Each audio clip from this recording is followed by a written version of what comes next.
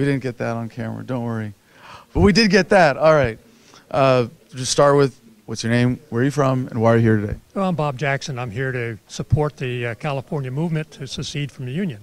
I think it's something that's uh, inevitable, and I think the sooner they do it, the better. The country's in bad shape. It's not getting any better. This would help. Now, you have uh, quite a storied political history. This isn't like you just jumped up and said, This is the first thing you're getting involved with. You're a former Libertarian Party presidential candidate yes. as well. I ran for president for the United States as a Libertarian in 08. Uh, before that, I ran as a Republican as a can- candidate for the Congress.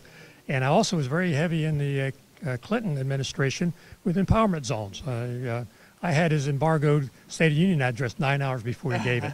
so I, have been all the all the avenues over the last 60 years. That's been my hobby. All right, so back 60 years? No way. What? That's not. so you you. I'm 80. No way. You know you've been you've had 60 years of activism in. Absolutely, absolutely. And uh, I'm an I'm an entrepreneur, so I have my own business, so I don't report to anybody. So my hobby has been politics, and I've been very involved in politics for 60 years. I hope I make it that long. But yes, I've set myself up. I hope, uh, I hope it's not necessary. I hope we, I hope the, I hope the world doesn't need political activists. I've got 13 years under my belt. If I, if I, if I make it to six years of political activism, we better have solved this. Hey, dude, I got, I got. You can run for uh, office and get gray hair. So, it's going to take your hair. I, it is. That is a. I am willing to make that sacrifice yep. if that's what it takes to achieve a world set free in our lifetime. But Bob, then going back, and, and I want to go all the way back to what woke you up, what informed you, what got you on this path of activism? Well, the biggest part was in the uh, early 70s. I was uh, doing business in Benton Harbor, Michigan. Turned out to be the most distressed city in the United States. So when Reagan got involved, it came with enterprise zones. I installed the enterprise zone in Benton Harbor, turned it around and made it the most the fastest growing city. That got me national attention. So I've been in the White House several times. I've testified, Senate, House. I've been all through Washington. And then, you know, uh, that was nice because people worked together.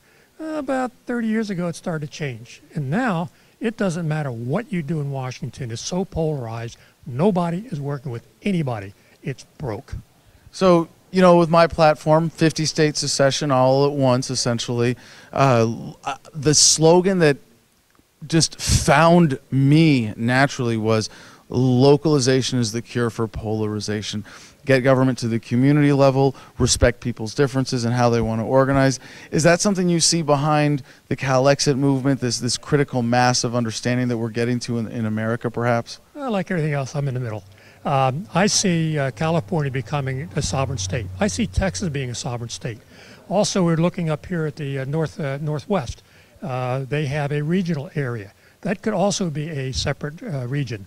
And then the rest of what's in the U.S., I would separate into red leaning and blue leaning, and I would stop there. Uh, so that would give you reasonably good sized states of commonality in politics. Well, what if California breaks off and Orange County says, well, we want to break off from California? You would respect that, right? I respect them to say that. And then I would also say for California, show them that you have a functioning government.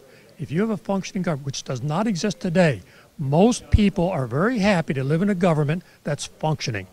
So yes, they may object to start, but show them that if it functions, it's good. It's a good thing.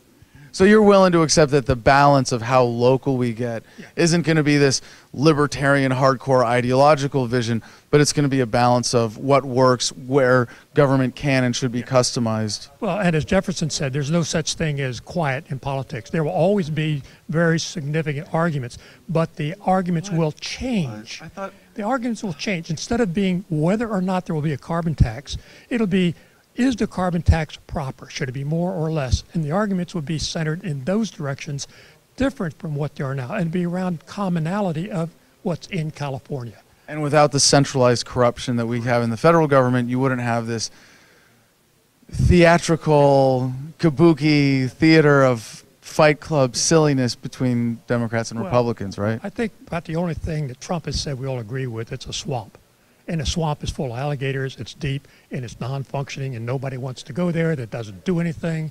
Uh, it's past its usefulness. Something has to be done, or what happens? Company, uh, country just dissolves, or goes bankrupt, or anarchy. I think we should get on board and come up with plausible alternatives before it collapses. Okay, so one last question, Bob. Tapping on your wisdom and experience here, sixty years in the. Yeah, see, this.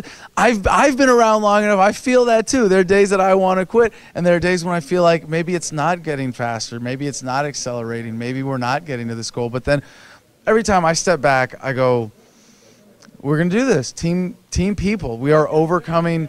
This concept of modern, violent, centralized governments. Do you think that's accelerating or decelerating? How's it going? We're getting more and more violent all the time.